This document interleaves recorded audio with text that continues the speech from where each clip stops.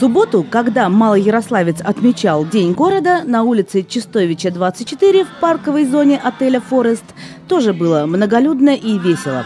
Вот только здесь отмечался День нового города. Назвать так этот праздник его организаторы решили потому, что одновременно с развлекательной программой проходила презентация строящегося жилого квартала «Лесная деревня». Кирпичные корпуса многоквартирных индивидуальных домов и таунхаусов в основном уже построены, коммуникации подведены и завершиться строительство должно еще до наступления Нового года. Итак, что же будет здесь в самое ближайшее время? На охраняемой территории в экологически чистом районе среди сосен на берегу озера растет жилой квартал, жить в котором приятно и удобно. В строительстве используются самые последние домостроительные тенденции – панорамное стекло, остекление, парковка для каждого автомобиля, индивидуальное газовое отопление. И при этом жилой квартал подключен к центральным городским коммуникациям. Очень важный момент. Застройка микрорайона ведется под контролем специалистов немецкой компании Дресс и Зомер. Конечно, это тоже для нас очень интересный объект. Эм, хорошая концепция, хорошие мысли. Все здесь ну, комбинировать такие исторический час, таунхаузы. Представитель компании находится на стройплощадке беспрерывно. А раз в неделю немецкие специалисты собираются вместе и обсуждают ход строительства в деталях. Таким образом, здесь просто не остается возможностей для ошибок.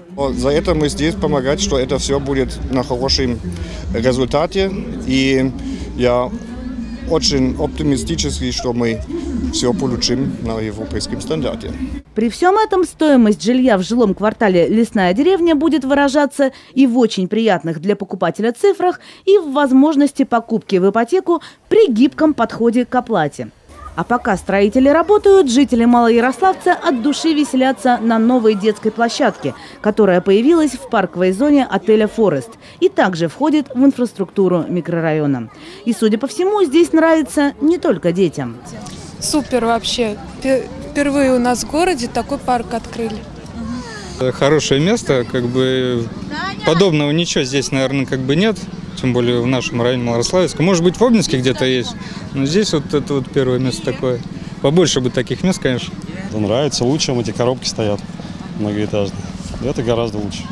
Ну и, конечно, праздник немыслим без подарков. Гвоздем концертной программы на празднование Дня нового города стало выступление очень популярной и любимой всеми группы, которая не нуждается в особом представлении. Мы события